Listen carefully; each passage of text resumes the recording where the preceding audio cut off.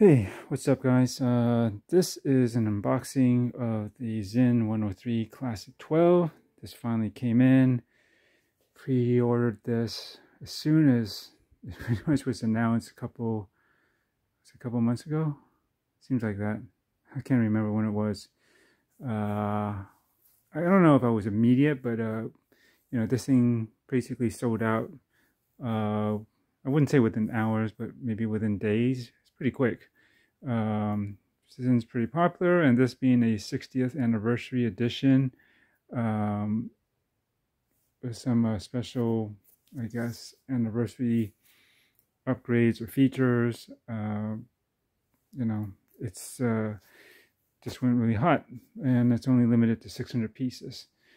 So, anyways, uh, it's not a review, just a quick unboxing. Well, actually, I've done the unboxing I'll save uh, some of the uh, suspense here. It's not a big deal, just opening up a box.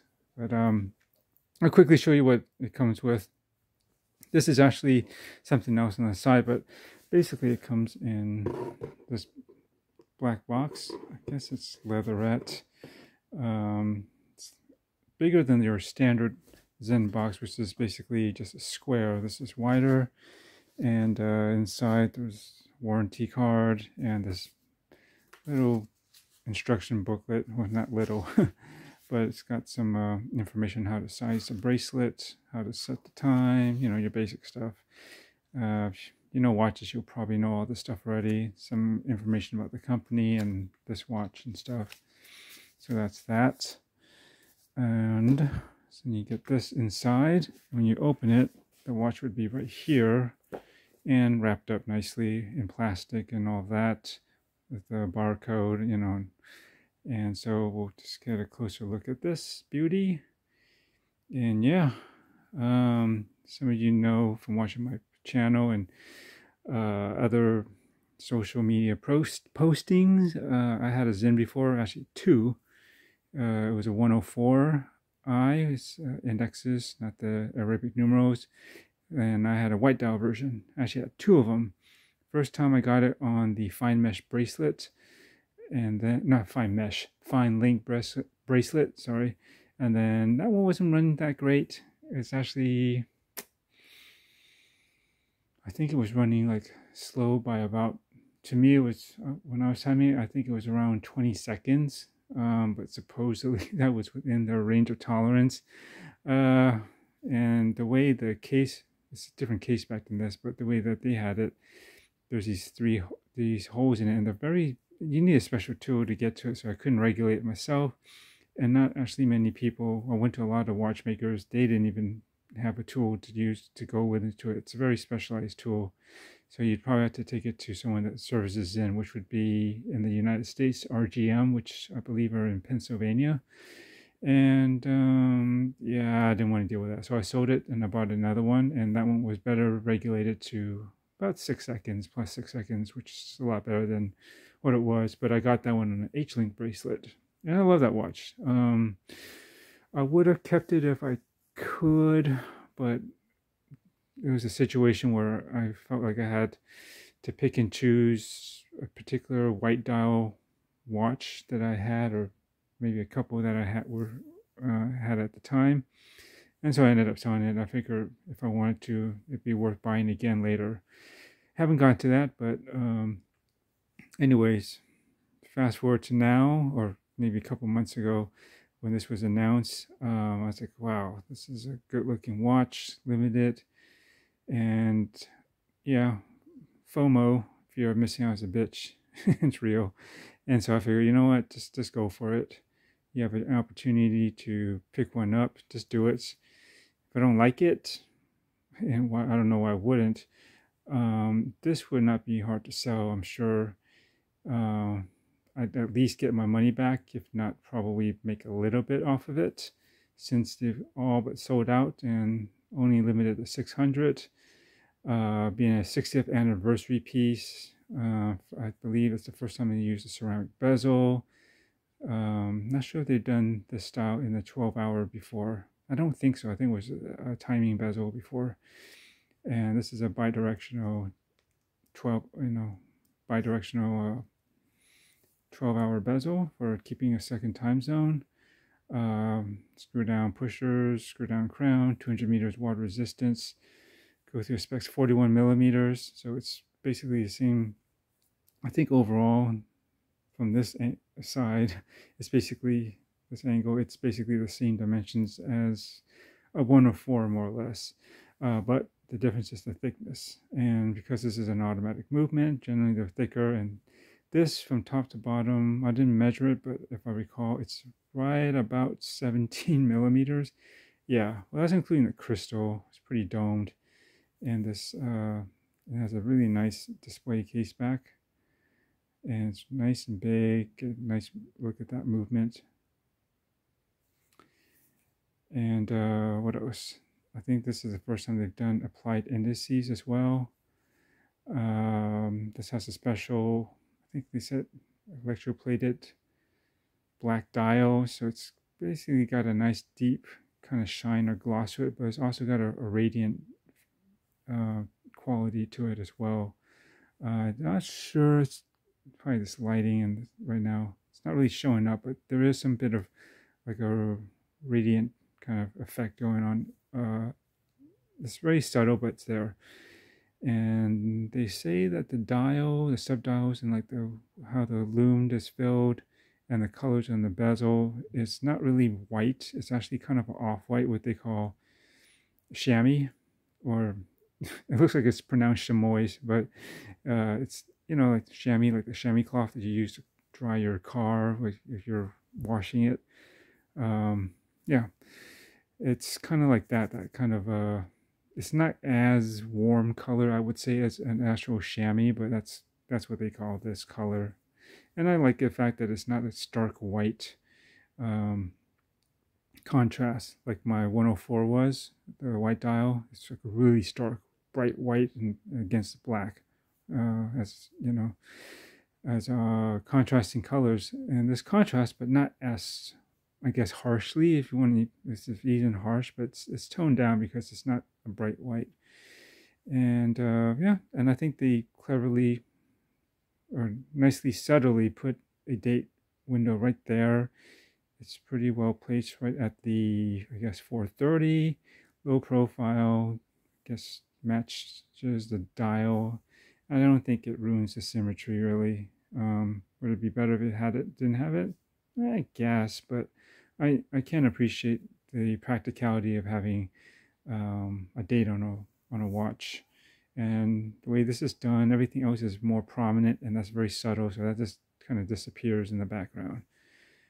And it comes with the the humidifying uh, or dehumidifying capsule. So this turns this gives an indicator so it should be white but as soon as it gets more moisture over time if it turns like a pretty solid blue then you definitely want to change that out and get it serviced and from what I can tell, I know it doesn't say it on the dial, but when I was reading the manual, the book there, it should have the AR or argon gas technology in here. So there's, there's actually should be argon gas in here as well, which helps to, uh, you know, keep things nice and clean and dehumidified and and that basically helps all the parts run better too and increases service interval times. So it's longer in between so it'll run more accurately and better longer for, for a longer period of time. And uh, yeah. And uh, I guess I can try to show this on wrist real quickly. This comes with the this lighting might not show it that well and it is pretty dark but this is like a dark green like a dark army green almost uh uh leather strap. Pretty pretty nice. And uh, oh, the lug width is 20 millimeters in case you're wondering. And it comes with also um let's see some of this extra spring bars it looks like and uh, a tool and this other um it's like a black with kind i think like white or maybe it's chamois it's some kind of contrast stitching. It's it's basically leather with like a crocodile or is it alligator uh, textured grain on on there so that you get that too. And uh, that's it. And uh, let me just see if I can show you this on wrist. So being an automatic chronograph, it's going to again have some pretty decent wrist presence in terms of uh, its thickness. There's usually very little ways around that, especially I believe this is essentially a Valjoux base, like 7750 type of movement, if I'm not mistaken, and those are generally pretty thick, which makes it pretty amazing that you think about what they can fit into a Rolex Daytona. That thing is incredibly compact and slim for an automatic chronograph. And so uh, you got to give them props on that. But I don't mind. I mean, this is a pilot watch. So, um, and a tool watch, and it should have some decent presence. And my wrist is just under seven inches, um, above six and three quarters. I'll tell you that. Somewhere right in the middle. It might have gotten a little bit bigger recently, but still I should be at seven or just under. And uh, do I have another hole? I might have, yeah, one. I think I have one more hole there. I could tighten it up. Depends on how swollen my wrists are, but there you go. Let me kind of back it up. And it's not bad. The lug to lug, I don't remember what it is, but it's relatively short. And the lugs do angle down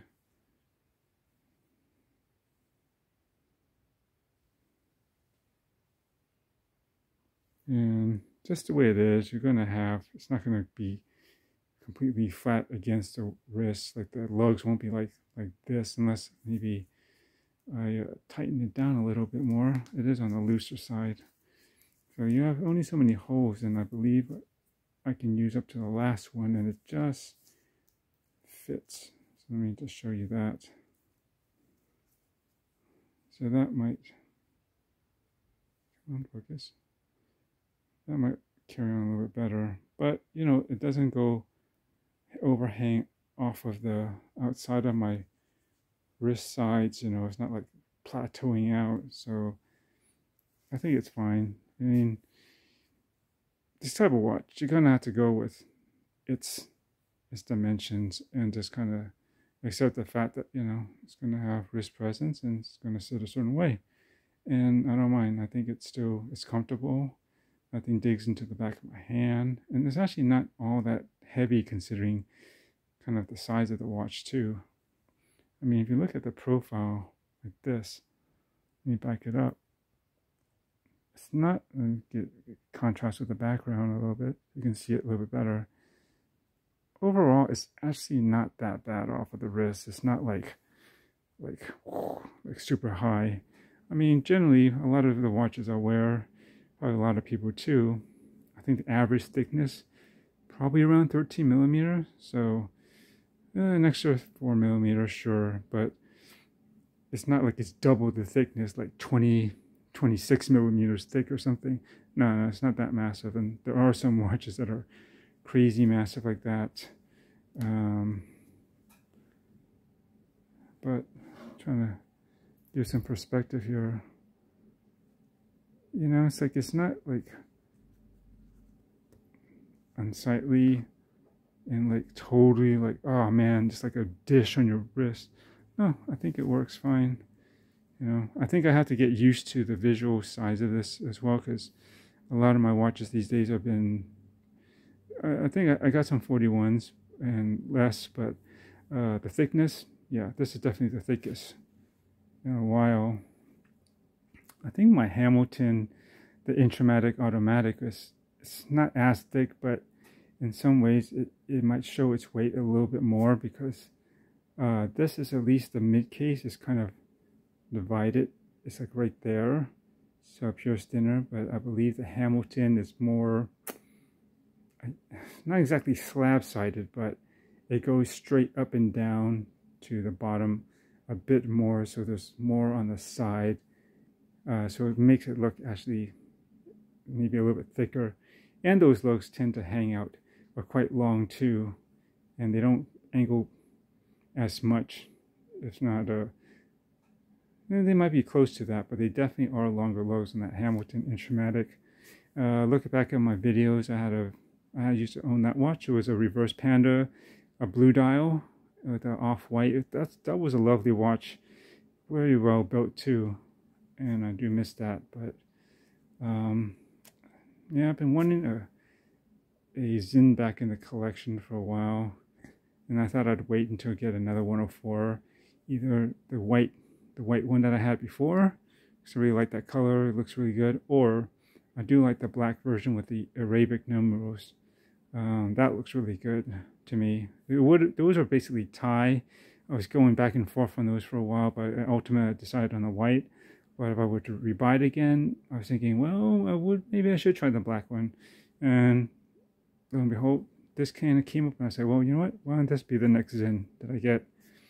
Um, automatic chronograph, limited edition, beautiful, classic, uh, sort of historically important. Um, and it's black this time. Still got it got indexes, and it still has some white, white subdials or off-white, I guess. They're actually a little bit silver or metallic if you actually see it in uh, certain lighting, but I think overall, you know, it's one of those types of silver. If it, if it is, that carries off as basically, you know, some sort of white color. And see if you can listen to. Oh, I'll start off the chronograph just to show it to you. And it runs pretty smooth.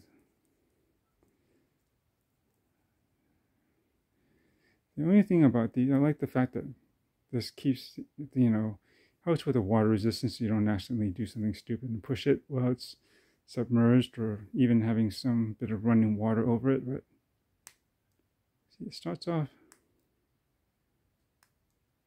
pretty smooth. There's no like jump. It's nice.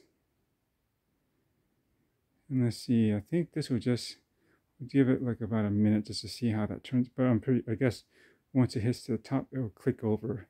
It's not like some chronographs where it's slow, that minute counter is slowly moving along with the second hand, which is kind of nice when it does that. I think the Seiko automatic chronograph that they have out right now, there's also a limited edition. It's almost as thick, it's around 16 or so, I think, at least 15, around 16 maybe. Uh, they have like a reverse, uh, they have a panda, it's really nice. Um, column wheel chronograph, I think it's using an NE88 or something like that, or some sort of uh, Seiko equivalent. And uh, let's see here, just to show you. There we go. And then we'll stop it. And, oops, I gotta unscrew this.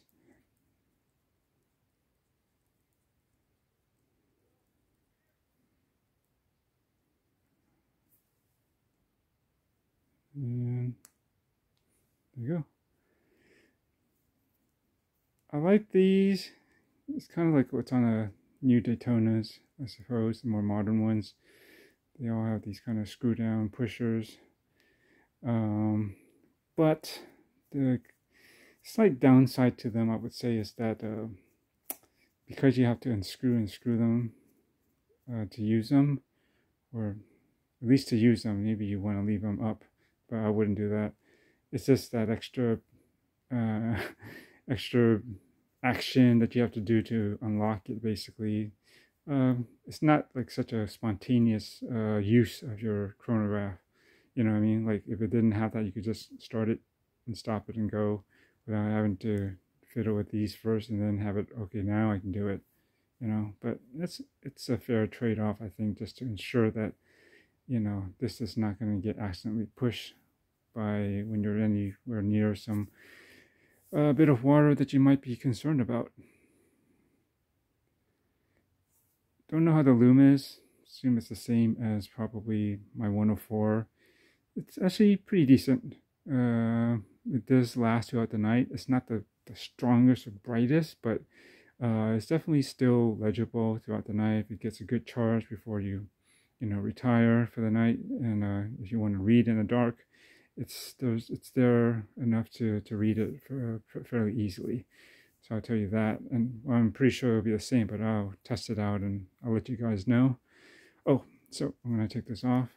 So what's in the other box here? Well, I'm a bracelet guy, and I also, you know, at least when I'm going to work, and I will wear this to work because I'm not going to baby this because this I buy my watches to wear. I don't care if it's limited edition or not, collectible. Hey, I think this is still hold its value and um, and uh, wouldn't be hard to sell if I wanted to. I usually take very good care of my watches, so I'm not too worried about it. And anyways, this is meant to be enjoyed. As such, again, I like to wash my watches when I come back from work, just to make sure it's free of any contaminants. And this is definitely has water resistant to take it. This is in robust, right? But I'm not going to be wearing it on the leather. Um, try to preserve this kind of the original strap. I mean, I will wear it from time to time, mainly on my days off, or uh, you know, I, I don't have to worry about having to clean this stuff off because you know you can't really wash this. but um, I got the uh, matching 103 bracelet. Mainly, the thing that matches it would be the the end links. Um, I'm not sure how it differs in 104, but I guess there is. They do make one for 104, obviously, and maybe they're slightly different. So it came in this box. Uh, it's the first time I order it like this separately. And there's a couple of spring bars. Here's the uh, the solid end links. And then comes with the tool. And get how what is exactly on the ends here. You have a push pin kind of thing here which I'm not sure if you're going to need that on this. It doesn't have like, you know, some of those, some watches, especially some, some chronographs like my hand, Hamilton has like a button to advance, like say the date or maybe someone's have other features. And there's the screwdriver end um, that will be needed for, it's pretty solid, that will be needed for the uh, H-link bracelet here. This has got screw. I see it's got hex screws, huh? Then what the heck are they giving me? Oh yeah, here it is. Here's the tools and the hex screws, uh, Allen wrenches rather, or hex wrench, whatever we call it. Um, you need two of them because you kind of have to hold both sides and kind of counter twist. They sort of lock from both ends. But um, it's just the way it works. This, what the heck is a screwdriver for? Well, anyways, I'm not going to worry about that. I wonder if this is actually, do they always say Frankfurt? I might be butchering this. Is it am Main or is it am? That doesn't sound right. That sounds very American. Frankfurt am Main. No, it's probably Frankfurt um Main. Main. I don't know tell me how you pronounce it. But uh, I mean, this is on the dial too, which is, I think, another special feature. Not, you know, it's not just a Sinn it has the where it's manufactured, I guess, too. Or at least it's uh, is that the corporate headquarters? Something like that. It's in the book. and uh, maybe they're all like this. I forgot what my 104 came with. It probably is. So, yeah, I'm gonna get this sized up, put on this, and I think this would look pretty darn sweet with it. And in some ways, it may actually kind of balance out the watch, even though, I mean, yeah, it is a, it's not like super top heavy, but you know, come on, there is a little bit of weight compared to, you know, you're gonna feel it more on a strap like this versus this. We'll probably, you know, even it out a bit more. And again, I like bracelets. So we're to work on that. Is there anything else? Oh, the bezel action I told you was 12, uh, 12 clicks. Come on. I don't know if you can hear it. Very smooth. And it just locks, falls right into place. Just click in. There's, you feel that ball bearing set. So it's definitely for a 12 hour bezel. I was kind of hoping that it would be um, maybe even 60 click or something where you can maybe set it more freely just instead of just on the hour. Like if you wanted to use it as a 12 hour counter, like but, but then you know what actually if you're going to be timing you basically have a 12 hour counter right there in the sub dial huh? So yeah you guess you don't need it. You can use this as a second time zone. Um, I don't actually need to track a second time zone but if and when I do travel or if I think I need to think about another place um, keep it in mind or time then I have that option right here and so yeah you'll probably be seeing more of this on some of the videos that I put out watch you strap in. This can be a bit of a strap monster although you know this looks would look great overall from most angles on a NATO 2 but my concern is the thickness and getting that extra layer under here even a single pass might be pushing it up off the wrist just a bit I mean, I'll give it a try, but I'm pretty sure it's not going to really look the best, at least from you look too far down the side of the wrist where you can really see it up. But from other most other angles where that's not really going to be seen or noticed that much, then I think it look pretty good on certain NATOs and colors. Uh, otherwise, I have two piece things that will that will work pretty well with this as well.